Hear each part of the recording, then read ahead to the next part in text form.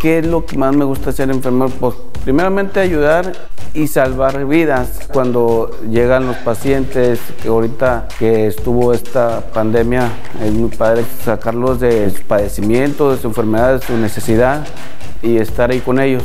Es más bien mi afán de ayudar a la gente este, y seguir este, progresando, progresando más para arriba de, de, enfermería. Mi papá fue rayado, yo soy rayado, mis hijos somos rayados. Tenemos los colores bien asentados, gracias a Dios. Ya podemos volver a los estadios, ya podemos estar gritando, cantando y alentando al equipo.